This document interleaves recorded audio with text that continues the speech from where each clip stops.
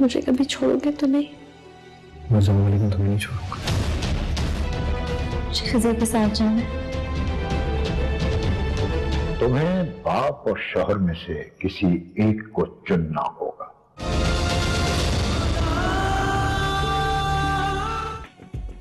नूरुलैंड देखिए आज रात आठ बजे सिर्फ़ ए आर वाई डिजिटल पर।